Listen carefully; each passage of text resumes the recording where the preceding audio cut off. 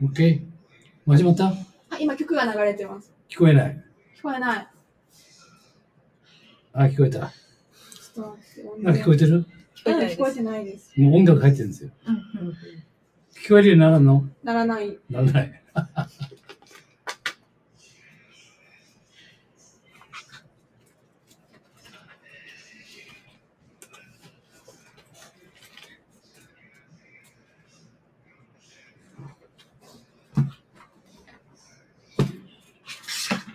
いい。どうぞ。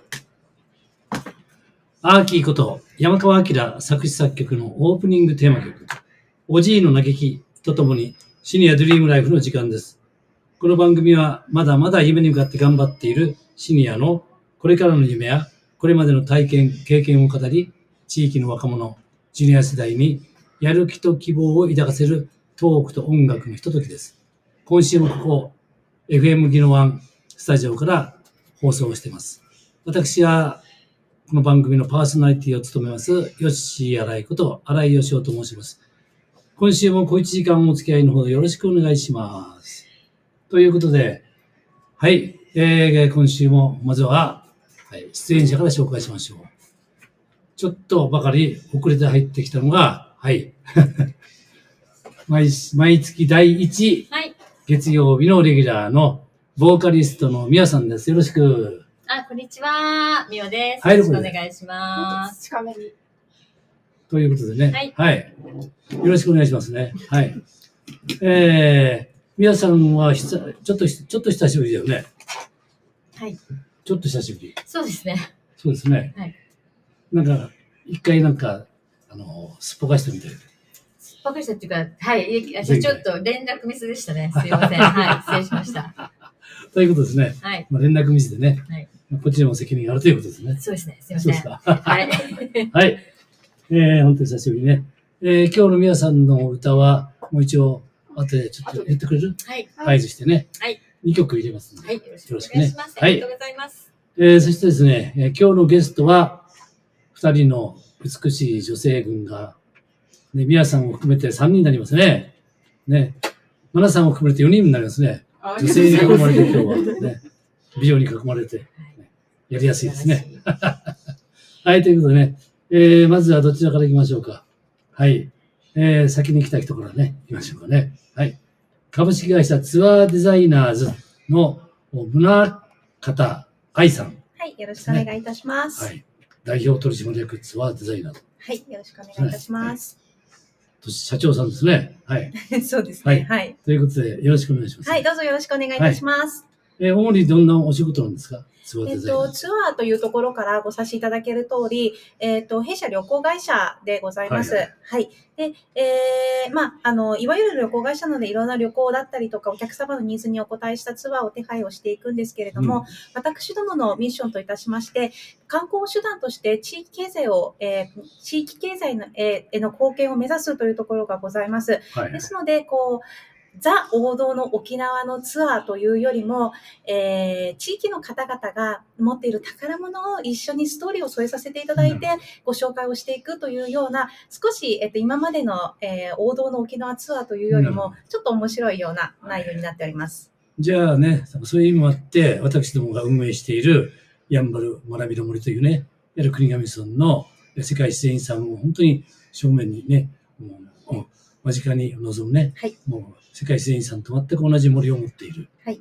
やんばる学びの森、はい。そこでのやるツアー企画、はい。ね、これをね、あの、やるリトリートツアーっていう感じでやってほしいなと思ってるんですけど、はい。ぜひよろしくお願いいたします。ね。はい、はい。あの、実は倍に以前に、やんばる学びの森さんでいろいろと私もさせていただきまして。あそう、ですか。はい、えっと、ツアーではなくて、その時は、その、あの、ガイドさんの研修だったんですけれども、もう本当にこのやんばる学びの森の、この森の豊かさだったりとか、自然の美しさというところを、どのように、こう、ただ単に淡々と伝えるのではなくて、えっと、なんて言うんでしょうかね、この、この人の生活の後というのは、文化の後というのも森の中に色濃く残っているので、はい。そういうところをどのようにお伝えをするのかとか、あとはそのガイドさんが、スポットガイドさんと言われうんる、この、まあ、ネイチャーガイドさんと、あのあのスルーガイドさんと言われる旅をずっとおあのついてついていく、はい。はい、お手伝いをするガイドさんのえどのようにこうなんて言うんでしょうか、えっ、と、まあ、掛け合いながらはい。進めていくのかというような研修を実施させていただきました大好評で皆様からものすごく素晴らしい、おいいね。はい、自然だったのにまたやってくださいよ、はい、もうぜひよろしくお願いいたします。えいつ頃やったんですか？えっと、これは去年の10月、11月ぐらいに、はい、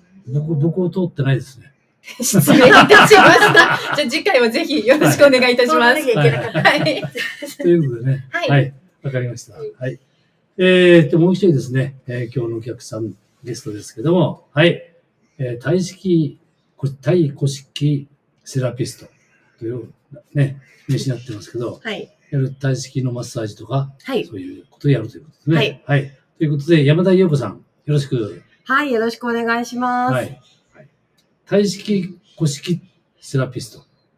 そうですね。まあ、太鼓式、ま、まご存知です？太鼓式。は いや、体式マッサージってどういうものか私は、まだ、あの、僕は、僕は、あの、マッサージしないんですよ。はいはいはいはいはい。だから、わかんないんだけど、うん。タイに行ってマッサージする、したことあるんだけどね、うんうん台湾とか。うんうん。外国行くとなんかみんなね、マッサージしよう、マッサージしようって言ううんので、うんうん。あんまりしたくないんだけど、やるんだけど、どれが、何が違うのかよくわかんないんだけはいはいはいはい。ど、違いがあるんですか？まあはい違い、うんうん、そうですね。え？あの、まあ、ストレ、簡単に言うとストレッチと指圧とっていう混ぜ込んでいく感じなんですけど、あとはまあ、あの、線っていうエネルギーラインを整えていくっていうエネルギーワークでもあるので、まあ、ただのその主義だけではないんですけれどもね。はい。あとはなんかその、まあ、太鼓式を最初にやり始めたので、うんそれをベースに、今、オイルトリートメントとか、あとドライヘッドとか、はいはいあと足つぼってやつですかね。はい。とかそういうのは全部やって、やらせていただいてます、あいろいろこれね、ミミックスしてやってるわけですね。そうですはいはいそうですね。はいはい。で、これを、お山田さんの場合は、いわゆるあの、固定的なお店でやるんじゃなくて、うんうん、出張サービスみたいな。出張もそうですね、うんやっておりますし、今は那覇市の松山にあるアマモ沖縄ウェルネスサポートっはいはいはい。ていうところあその、こは中心に。そうですね、場所をはい借りてやってますねな。るほどね。はい。名刺にそれは書いてないんで、そうなんですよね。書きなさい。あままんとかよくわかるからね。場所もいいしね。はい次の名刺には書いたらいいんじゃない？ね、書きましょうね。ね。はい、ということでね。は、はいいわかりました。はい。えー、それではですね、えー、この番組で、えー冒頭には、毎、えー、週ですけどね、うんヨッシー、新井、私ねうん、の教育的な一言っていうコーナーがあるんですよ。何かっていうと、私はもともとあの、沖縄来てからね、えー、もう40年以上経ちますけど、ずっと教育型なんですよ、仕事が。うん。あの、なかなかそうは見えないという人が多いんですけど、見かけとは違って、中身は教育一本なんで、ということなんですけどね。ですから、まあ、あの、まあ、知ってる方っていうかね、まあ、知ってる方多いんですけど、教育、ね、有名な、沖縄で有名な沖縄小学、その以前、あのね、立ち上げた小学院、まあ、そこにもね、えー、長年いたんですけど、沖小の立ち上げから小学院から行って立ち上げからやってましたけどね。まあ、そういうことで、やっぱり教育的なことを言わんといかんということで、この番組もですね、ヨッシー・アライの教育的な一言というのを、ね、あの毎月、月替わりで入れてます。はい。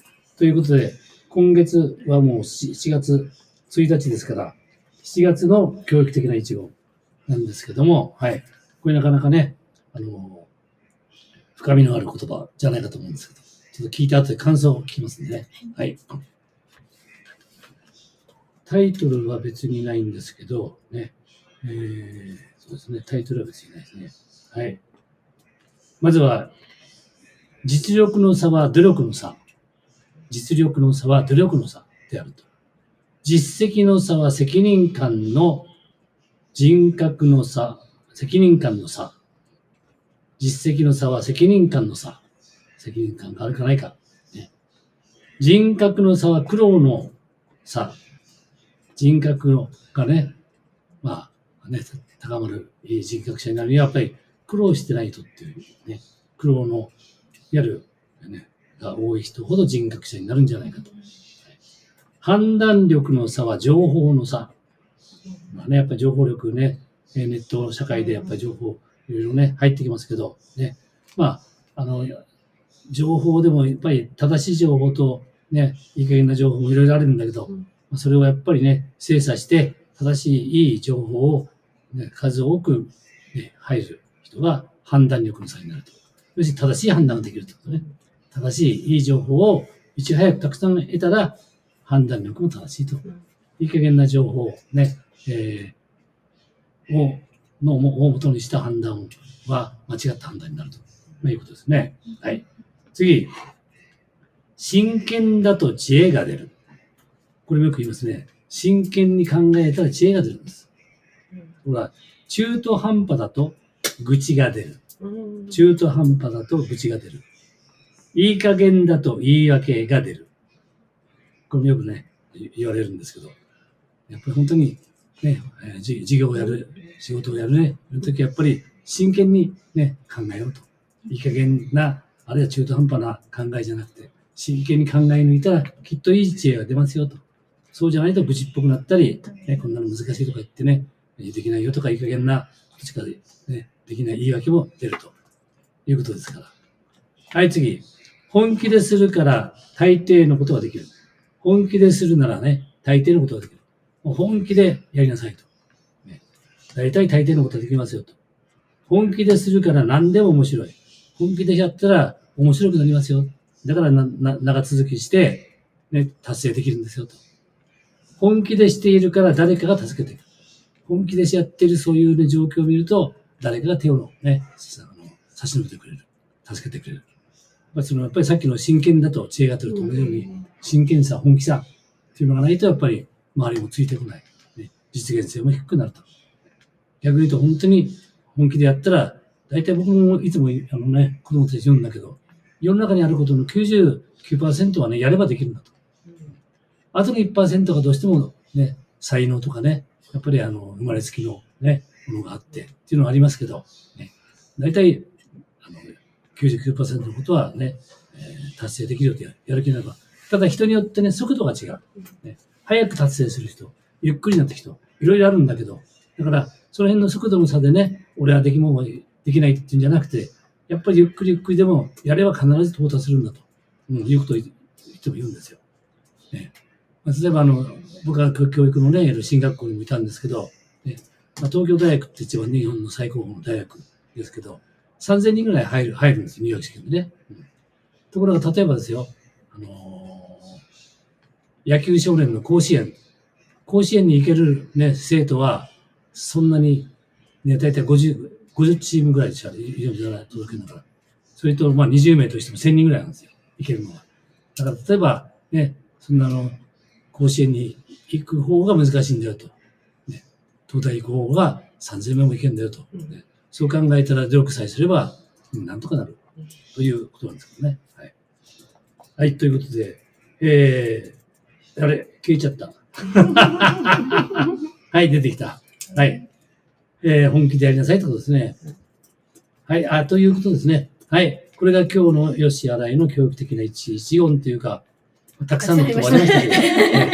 ねたくさんありましたけど。はい。えーまず、皆さんどうですか？はい。そうですね。まあでも真剣にやるっていうのは常日頃考えてやってることではありますけど、まあそれをやるにもやっぱり優先順位がいるなって今ちょっと考えてますよ。お やっぱり。すべてのことを真剣に、あの、全力でっていうのはなかなか難しいじゃないですか。それは全てとは書いてないよ。そうそうだから、それをですね、自分のやっぱり優先順位をつけ目標とかねて、そうですね、そういうやらなきゃいけないなってちょっと今考えましたね。はい。はい。えー、村方さんどうですか？はい、えっと、もう、あの、すごく響きました。なんか、あの、こういう話って、なかなか大人になってから、あの、自分たちでこう、検索して、あの、到達しないと出てこない言葉だと思うんですね。なんでちょっと改めてこういうお言葉、いろんなこう言葉を聞いて、あっていうふうなところで思い出すこととかも一緒いっぱいあって、例えばその、本当にあの、すべて上がってきた言葉って、もう本当その通りなんだなっていうふうに思っていて、で、実力の差は努力の差とか、あの、厳しそうにこう聞こえることだけれども、いや、とても大切なことなんだろうなっていうふうに思っていて、例えばその、私がいつも掲げてるのが、人生やっぱり楽しくなきゃいけないと。はいで、楽しいっていうのが、いつもハッピーでエンジョイなことしてるってことじゃなくって、苦しいことも楽しいに、えーつながる一つのプロセスですし、はいなので、それも含めて楽しい、例えばその自分が何か失敗して、で、叶わなくて悔しいって思うのも、悔しいと思わないように、じゃあ何ができるの？じゃあ努力をしようよとか、はい。一歩踏み出してみようよっていうような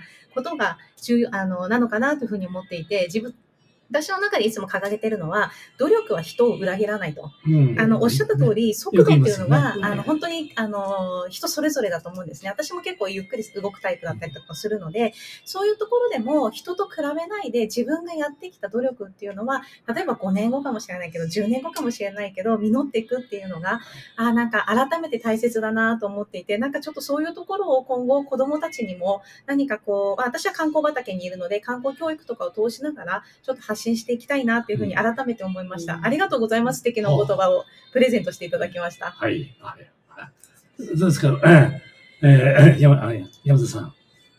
ね、そうですね。本当愛さんがおっしゃるようにね、全部、うんうんうんっていう。うんうんはい。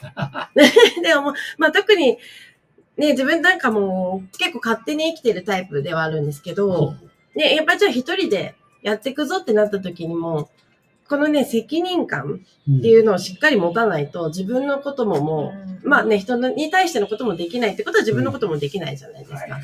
なのでやっぱり、いつまでもね、なあなあな感じでやってたらいかんなっていうのはやっぱりちょっとね、ね。うん、個人になってからは特に、やっぱまあ、お二人感じます。ともね、やはり自自力で生活、自力で生活っていうかあの、ね 会社をね、社社長さんだったり、ね、個人営業だったり、ね、自分自ら働いて収入を得て、ね、やってるんで、やっぱりその辺のことはね、感じるんでしょうね。はい。下の方もやっぱね育ててね、うんやっていけなかったりするんですよね。皆さんは家庭の、まあ、みんな家庭の主婦かもしれないけど、よくわかんないけど、個人的なことは 聞いてないんで、はい。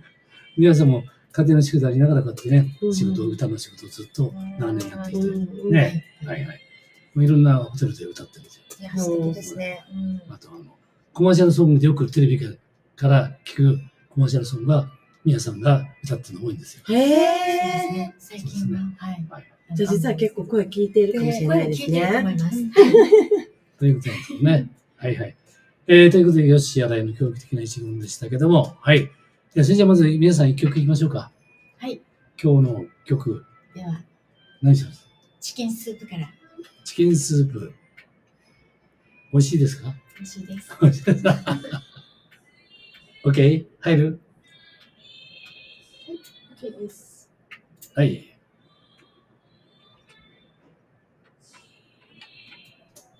はいはい。すぐ出してくれる。ありがとうございます。はい。コメントが来てるので紹介しますね。新井さん。コメントが来てるそうあで、す。新井さんああコメント来てるので紹介。あ、紹介できないんだ。ちょっとマイクがないんだ。なんで、これで来てるわけ？あ、ツイキャスが今。うん紹介するときこれでやったんですよね。そうです。いやこれはなな何入ってんの？ツイキャス、あ、ツイキャス以外やってんの？あの、ちょっとサブのアカウントで。ツイキャスは、今、今で、ライブでやってるんですか？今放送されてるあ、ツイキャスは、あ、そうなの録画と一緒に？あ、そうなんだ。やればできるというものを全てが達成できるわけではなができるほど全然見えない。私も川田さんと。ちょっとさんが見えてあ、ないい。やいや、別に。はいはい。さんのマイクちょっと髪の毛。あ、でも、こっちちょっとこっちを回した方がいいんじゃない？うあ？上から失礼します。これ、み、皆さんが使うでしょ私がちょっとコメント、じゃあコメントコメント読んでくれる。コメント、コメあ、ントそうそう。そう。一回だけ借りましょう。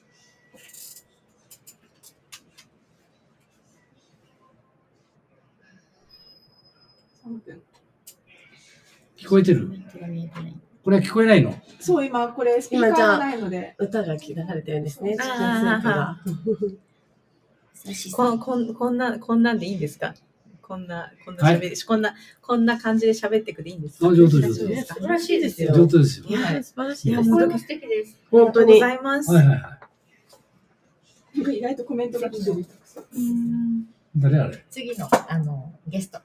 次、次のゲスト生、生でやりますよね。次この後も。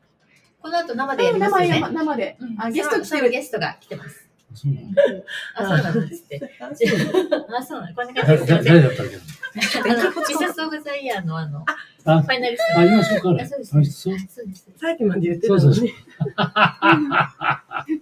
自分で。ちゃんとよ、ちゃんと言ってたのに。あの、浦添かなんかの方ですよね、ファイナリストの方って。ああ、たくさんい。ますよ。いいろんな。あ、今日の、今日のですか？ああ、じゃじゃなくて、なんか、あの、この間、なんだっけ、なんかのニュースで浦添のあ、あれはミセス・オブ・ザ・イヤーの、えっと、ワールドに出あ場される出演す。る方方が。これ片っぽだけ今日は男とか入るん沖縄だね。大会の。あ、そうそうそう。そう、片っぽだけ。ね。こうやってね。逆だったよ。逆もいい。皆さん、いつ本番ですか？本番？出ますよね。出ます。何出ます頑張ってください。私も出るんです。知ってました？何？にミセス・オブ・ザ・イヤ知ってない。ー。なんで？別に歌の、ね、歌出てんの？いやいやいやいや、何言ってんですか。新井さんの、あの、ご紹介に、ゆかさんの紹介で、はい。そうそうなんですよ。出ると思ったんだ？偉いそういうこ。とになりますした。ごいあ今年ですか？今年です。いやもうすぐです。いやいつなんです7か月7日です。頑張ってください。どこに行か応援してましるぜひ、いらしてくださた。い。行きますよ。はい。じゃあ来泉年さんからです。うん 来年出ましょう。来年ねね、ちょっと、もう、ま去年から言われてるんで。はいやりましょう、やりましょう。言ってくださいよ絶対いいと思います。応援してます頑張って活動されてるので。ねはい。頑張ります。はい二人ともです主戦でもな、生ためさんっていうのが、ちょっとあの、年配なんだけど、もうん。う優優勝してましたよね、グランプリと。へー。えそうですね。60代。もう一番、一番上は何十、え、九はい90ぐらいの人えーそうそうそう。すごい全国では、全国では結構いるらしい美しいですね。60代は60代以上になっていまして、いくつでも参加できるっていう。へー。いいのなんかそういうのに出れるようになってたいですよね。うんうんはい。60過ぎ皆さん素晴ら。しいです。うんはい。若々しく。知らなかったですよ。あ、知らなかったです？そう、会えてなかったですよね。はません。はい失礼し報まし告なかったです。報告はしてませんでしたっけ？あ、泉さんから知らないよね。あだからし知ってた？知ってなんでます。なんで振り出しに戻ってきて。またやります。かわいい。知らぬは我が身なりきりだろ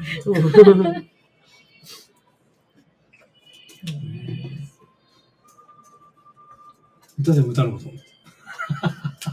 ね。でもなんかそういうしね、時にアピールの時とかに、あるんですかきっとアピールの場は面。い。ね、絶対ありますよね、自分の得意なこととか。はい。じゃあコメント紹介しながらはいやっていきます。はいはいはい。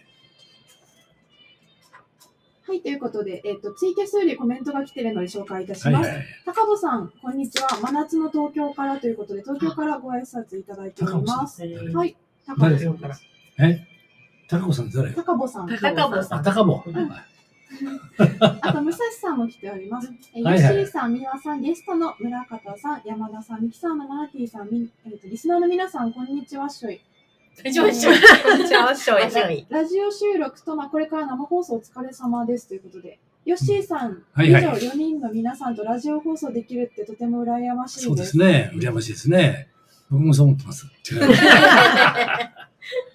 はいはい。えっと、高坊さんは、えー努力は絶対報われるわけではないですが、ある程度は報われるというのが適切かと存じます。まあそうだね。うんうん。うんえー、とあとはですね、えーと、やればできるというものの、すべてが達成できるわけでもありません。私も夢だったサッカーの2級審判員になるべく努力した結果、昇格昇級できましたが、これも努力と運が噛み合った結果です。うんうんとのこと。まあそうね。まあ確かにその通りなんですけうどね。んうんでもね、本当にね、でもあれですよ。僕の経験から言うと、だから、時間とかね、あの、深みにもよるんだけど、うんまあ、努力の度合いとかね、うんまあ、人によって努力の度合いは違うんだけど、はいうん、でも本当は、あく、る程度、ある程度までいきますよ。はい。うんでも学生によく言うんですけど、はい。努力は必ずしも報われない。うんでも、自分がやった努力は自分にはちゃんと返ってくるじゃないうんですか。そうですよそうですねいうことかなって思うんですけまあ、そうど、だね。うんうんその通りですね。はい。自分は成長できるっていう。そういうことね。努力はやっぱり怠ってはいけないと。うんでも本当に目標に向かって達成しようと思えば、やっぱりその努力の、いわゆる深みとかね、うん努力の度合いとかっていうのはやっぱり強ければ強いほど、思いが強ければ強いほど達成する可能性も高いと思うんですよね。うんそういうことだと思うんでね。はい。えー高尾さんね、ありがとうございます。ありがとうございます。はい。ね。はい。えー、ということでね、えー、今日は誰からいきますか？誰から？山田さんから。ねはい。山田さんのですね、このはいシニアのドリームライフ。はいはい今ね、あの、大式、なんかね、セラピストっていうことなんですけども、ここまでたどり着いた、その何かな、動機、動機とかね、うんうん、きっかけとか、っていうのはどんなことなんですか、セラピストになった理由ですか、まあ、あるいは過去も何をしてたのか。はいはいもっと若い時代。今も若いんですけどね。もっと若い時代に。結構私は、まあ、なん、チャランポランって言ったらチャランポランなのか、じゃあ会社勤めとかもほとんどしたことないですし、なんて言うんですかね。まあ、働いてはいましたけど、うん。かそういう、もうずっとこういうとこで働いてましたっていうのああはなくって、まあ、旅したりとか、転々としてみたりとか、その時から漠然と自分が一人で、自分さえいれば何かできることうん。が、いできたらいいなっていうのは思ってたんですけど、まあそこ、セラピストになると思ってなかったですけどね。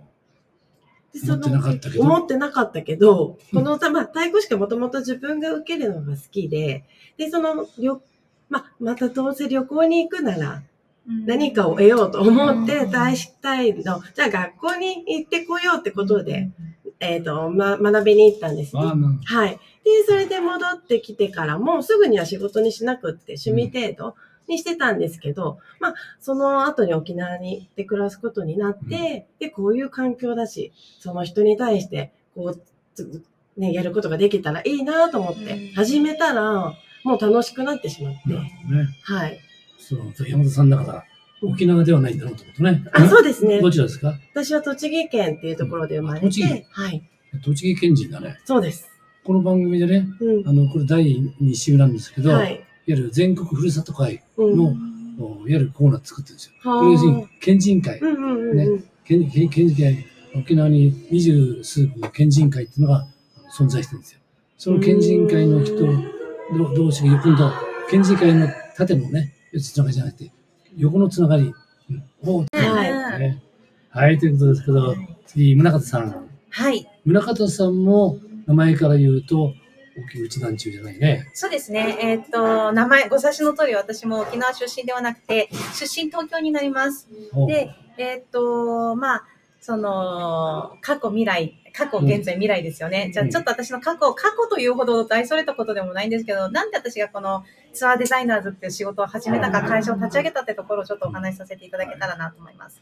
えっと、今申した通り私東京出身で、うん。高校卒業してからカナダに4、5年ぐらい留学をしたんですね。で、帰国してから、まあ、あのー東京にいるのもなっていうのもありましたし、その、なんだろう、地元にいると、うん。あの、どこの皆さん地元もそうだと思うんですけれども、うん。やっぱりどこどこの、例えば会社に勤めてる誰々さんとか、それこそそういう枕言葉がついてくると思うんですね。どこどこの大学出た何々さんとか、誰々の何々さんっていう、そういう枕言葉を全部取っ払った時に、はい。その私一人、ただ単の宗像愛個人になった時に、うん。何ができるんだろうっていうふうに思ったんですね。で、じゃあちょっとその単体の宗像愛になった時に、はい。どこまでできるかちょっと挑戦してみたいなっていうふうな気持ちがあって、じゃあ東京からどっかにこう移住してみようっていうふうになりました。で、えーか家族で一緒一緒い。や、もう私単体一人で、単体。たはい、一人で行きました。で、えー カナダにいたので寒いところはちょっと嫌だなっていうふうなところはいはい。で、まあ、縁もゆかりもない沖縄にじゃあ行って何かやってみようということで沖縄に来て、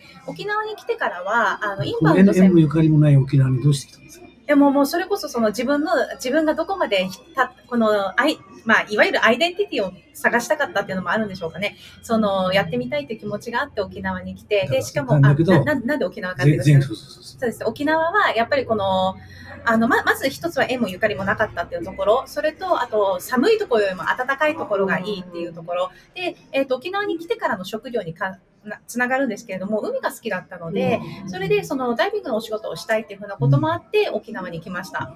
で、沖縄に来てからはインバウンド向けの、えっ、と、外人さん専用、専用ではないですけど、うん向けのダイビングショップでちょっとショップショップマネージャーなんていうふうなことをした。うんで、やっていた後に、まあそこをこう退職をして、じゃあ次新たな一歩進もうかなって言った時に、あの、まあ全国通訳案内士っていう国家資格があるんですね。全国通訳案内士っていうのが、まあいわゆる、えーっと、外国語を喋って、えーっと外、外国、外国人の方々に外国語で日本の魅力をお伝えしていく歴史とか文化っていうところをしていくっていうふうなお、えー資格を取って、そのお仕事をしてました。はいで、そういうふうなことをしてると、やっぱりこの、まあ、一ガイドとして現場に出ていると、まあ、旅行会社さんからどこどこにこのお客様をお連れしてくださいっていうふうなことでお連れをして、お客様もお客様でそれを楽しんでで、えーっと、地元の方とお客様の一番のこう、なんて言うんでしょうか、接点というか、あの、まあ、架け橋になっていくのって、このやっぱり一ガイドの皆様だと思っているんですね。で、そういう風になった時に、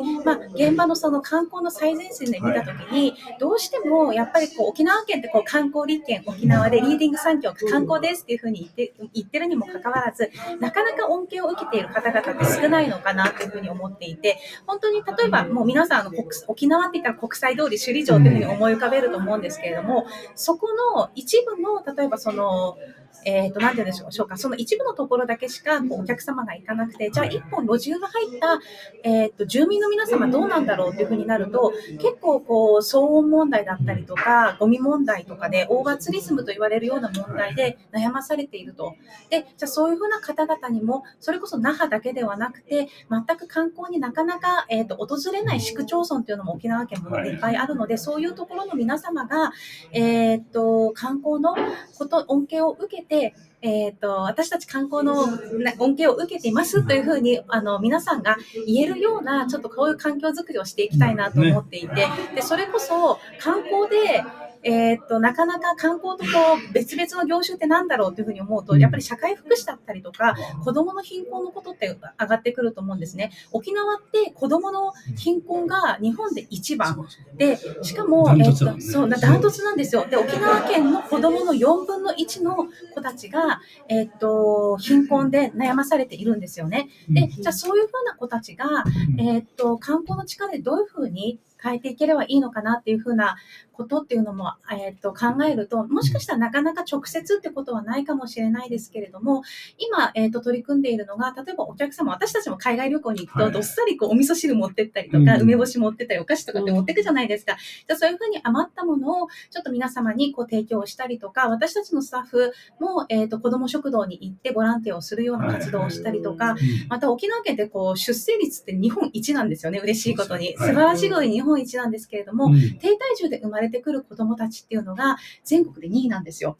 なので、例えばそういうところで、えーっと、この低低体重で生まれてきた子供たちのためにこう肌着を作っている会社さんとかもあって、すごく、すごく素晴らしい取り組みをされている方なので、ちょっとそういうところの方に今アプローチをしていて何かお手伝いを私どもでさせていただけないか、それこそその私たちのツアーの中の一部がそちらにこう、なんでしょう、あの、寄付されるじゃないけれども、なんかちょっとそんな風なシステムを作っていって、旅行が私たちはまあ、あの、旅行会社なので旅行をしてるんですけれども、そういう意味で沖縄に来た皆様も一緒に沖縄のこう、えーっと、皆様の沖縄県民のこにつながっていくような、ちょっとこういう循環を作っていきたいなっていうのが、うん長々と喋ってしまいましたが、そんなことを目指してやっております。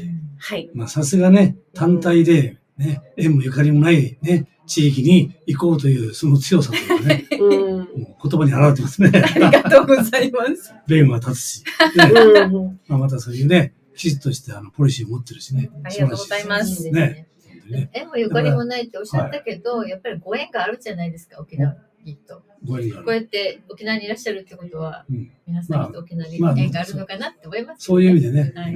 縁縁がつながるかなんらね。か土地の神様に呼ばれたのかなっていうふうに、はいはいうん。よく私たち言ってる、言ってます。はいはい。新井さんもそうじゃないですか？ああまあそうですよ。ね、40年ですか、新井さんは。43年ですね。まあ、私はまあこれできたんで、これはアメリカ。そういう日が経ってますね。これがうちの中だったんでね。ああ、なるまあほど。そういうの単純な理由なんですよ。はい。まあ、ご縁ですよね。それもご縁ですね。ははい。えー皆さん、はい。うん、最近の活動はどうですか？最近の活動ですか、はいこのミセス・オブ・ザ・イヤーの、あはい、ちょっと忙しくしております。うんはいはいはい。あとはまあ、練習っていうか、いろんなウォーキングの練習とか、はい、うんそうですね。ウォーキング練習もそうですし、あの、スピーチもそうですし。はい。うん。はい。まあ、あの、スピーチと、あの、ウォーキングのコンテストなので、うん皆さんのこの人生のね。を振り返り、えーそれを、あの、なんていうのかな。これからうん。世の中にどう貢献していきたいかみたいなことも含めて、それを30秒で、たった30秒であ まとめるっていう、そういう作業を皆さん一生懸命やってらして、はい。特技の歌を歌う時間はない。もあもちろんお仕事ですから歌ってますよ。いや、違う違う違う。その密接オブザあ、イヤーで。30秒で、あ交互期待です。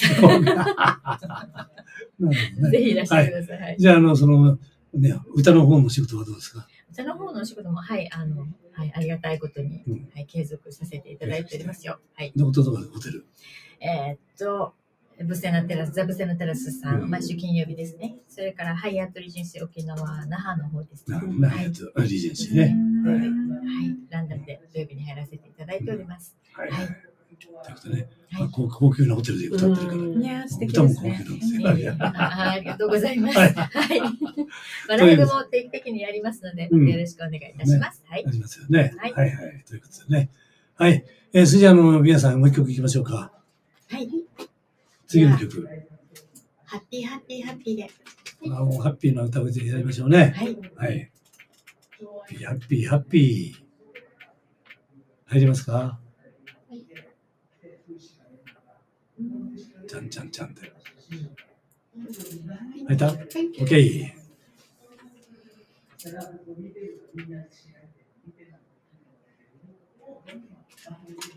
この音楽は、の入ってるのは、あの、ラジオとか YouTube では流れないんでしょ？そう、ラジオだけです。はい。え？ラジオだけ。あ、ラジオだけなのオンエアね。の時だけ。そそれと、その間の YouTube なんかは、これが入ってるんですよ。あ、なるほど。え映像とね映像があ、映像、えー声は入ってうんそう。声も入ってます。声も入って、ああ、そうなんですここで話してることが入ってるそうかと思いきや そうなんです。休憩時間と思ってね。思ってね。うんみんないろんなこと喋っちゃそうういやけど。YouTube で入ってねる。しかも YouTube は残りますから。ね大変。ねそうそうそうそう。残って、いつでもは配信できるんだね。大変ですよ。ですよ気をつけます。うんそうそうそうね。ただ本当たまたま、この間の主催の会合でうん初めて会って。そうです、そうです。ねねでもだからすごいこういうのもね、ご縁ですよね。本当そうですよね。うんもう一つ一つがご縁だなと思って。うんうん突然にね、いろいろ訪れて始まったりしますもんね。そうですねうんぜひちょっとその企画をね、うんまとめて、そうですね。はい。今一応あの、本当にあの、秋村だと、秋村さんと、うんあと、え荻野と話し合って、基本的なものを作ろうって言ってんで、はい。そこにまとめて、全体的なまとめね、うん。集客の方法とか、そういうのはもう村方さんでやってもらってですね。そうですね。皆さんね、せってかく、ね、いい、あの、いいもの持ってらっしゃる方々がもう、そうそうう。ん、キラキラ輝いてる方々なので、なんとかこう一つにまとめていきたい山ですよね。さんも参参加してもらってね。うん一応基本は今考えてるそういう、あの、やる、ヨガを教える人とか、うん。ファスティングを教える人とか、まあそういう体式のあれをやる人とか、うんそういう人と求めてるツツアーの方ね、はい。はもう、ももちろん無無料にして、よし人を集めなきゃいけない。うんということで、まあ、あの、宿泊等もね、修正関係でやると2割引きなので、はい。全体として、あの、特に団体たちね、割引をしてやろうかなということにはい。なりますんで、ぜひ、ぜひ。いい企画を作って、ねそうですね。うん。全国から集めましょう。せっかくのね、素敵な場所ですからね。そうそうそう。うんでもいいですよね。その本当に世界遺産の森の隣のところで、こう自分の、なんていうんです中を整えていくことができるって、いや。で、姿勢のネットワークが全国にあるわけだから、はい。うんだからちょっとあの、早めに作って、それを全国に、うん。まあ、な流す、こういう。そうですよね。うん、なんかもうそれこそそう、あの、皆さん沖縄の会場にいらっしゃる前に、例えば一泊二日とかでもいいからつけて、ちょっとそういうふうなご提案したら、ね、ぜひ、うん、いいかなと思います。はい。ね、よろしくちょっとただただ本当に何も気にせず、ねうんうん、ね、携帯とかも、ね、一回離れてそうですね。デジタルでこうデトックスしながら。できたらいいですもんね。携帯 離れるの？離れる。うちのあの、キャンプ場は、携帯が離れなくて、ちゃんとあの、電源があるんですよ。だから、キャンプしながらも、ああ、電源が取れる。電源があるからうん山の中なんだけど、うん、電源が取れるんで、携帯は使えるようになってんだけど、うんうん。え携帯切っちゃうとなんか奥様になんかあれなんですか？そうそうそうそう。怪しいとか言われて、怪しいって。ラブラブ。緊急連絡の時は繋がるようにって。はいまあ本当それは大事ですからそうでね。すね。うん。あと何分だ？じゃあ、そろそろ行きます。と何分？あとね、?8 分8分です50分なんですよ。はい、どうぞ。はい。えー、ハッピーハッピーハッピーね、聞きましたけど、まあ、ハッピーな気分になりました、皆さん。なりました。なはい。りましたはい、もう今日はね、えー、本当に3人の美女に、いや4人だな。4人やうんまだ3人で、ありがとうございま4す。人の美女に囲まれて、この狭い狭い部室というか、えー、ということでね、囲まれてますけども、はい。えー、いろいろとね、あのメッセージくれたね、えー、高保さんとか、あともう一人誰か、二人、武蔵さん？ん？武蔵さん？あ、そうそう、さ武蔵さんね。はい。いつもありがとうございます。ね。えーまた他の方も聞いてる方でもね、メッセージどんどん送ってもらいたいなと思いますけれども、はい。えー、あとは何分ぐらいあるんですか？あと8分、あ、さ7分ですね。ね。何分ね。はい。じゃあ最後のあの、最後っていうかね、今日の締めのメッセージを、じゃあまずは、えー、まずは山田さんからいきましょうか。はい。はい。締めのメッッセージ。締めのメッセージ？はい。皆さんに。皆さんに。え？なんだよ。急に。まあ、ここも要するに、あの、深夜ドリームライフだから、はいはい夢を語ってます。なるほど。締めの夢を。はいはいはい。なるほど。夢。そうですね。うーん、夢か。そう。これから何をしたいかとかさ、うんうんうん。どういう生き方をしたいか。はいはい。はいそうですね。まあ今やっていることもどんどんどんどん、うん、なんていうのかな。まあここ、これはこれで深めつつはい、また別なアプローチの仕方で何かこう人の、だから先ほどのリトリートとかじゃないですけれども、うんはい何かこう原点に帰っていくためのお手伝いとか、そういうのとかできてやっていけたらいいなって思ってます。はいはいはい。まあ、今の仕事を、まあ、基本にしてってことね。そうですね。やっぱり好きで長続きしたいやってるので、はい。それはね、まあ、長続きするための、まあ、いろんなまあことをやろうと。そうですね。今、その触れ合うとか、そういうことをちょっと大事にして活動させていただいているので、はい。じゃあ、村田さんどうですか？はい。えっ、と、夢っていうふうに、なんかそんなに大げさな、大きくこう何かっていうふうなことではないんですけれども、うん。やっぱりこう、私この会社始めて、なんでこう会社始めたんだろうっていうふうなことをいろいろいろいろこうセグメント小さくやっていくと、最終的にやっぱり人のために何かしたいのかなっていうふうに思っていて、じゃあちょっとそういうふうなことができるような、えっ、と、まず今はえー土台作りっていうんでしょうか、うん。そういうものをしたりとかしていて、はい今、えっと弊社で本当にもう力入れてこれは取り組まなきゃいけないというふうに思っているのが農家の方々との一緒の取り組みと、あと女性のことについてっていうふうなことで、まあ、前者がアグリツーリズムっていうこの分野があるんですね。そのアグリ？アグリツーリアグリカルチャーって英語で、のはいアグリツーリズムで農家さんたちと、まあ、その農業の方々と看護看護をかコラボしていくっていうような取り組みをしていて、例えばどこの地域だとももう一緒だと思うんですけれども、沖縄県でこう農家の方々もいっぱいいるんですけれども、やはり農農業収入だけだったらば、はどうしても厳しいと。で、じゃあそういうところを観光の力で何かができないかっていうふうなことで、えっ、と、かん農業外収入をどんどん増やしていくっていう、それも、えっ、と、農家さんたちのお手伝いをしながらっていうふうなことを取り組んでます。なんかこう、そういうツアーに行くっていうふうには、例えば稲買って終わるだけとか、うん。野菜収穫して終わるだけっていうふうにイメージされがちなんですけれども、今私たちで設計しているのが、あのー農家さんの本当の一日朝から始まって収穫をして出荷をしてっていう物流のところまでの流れを一緒に、うん。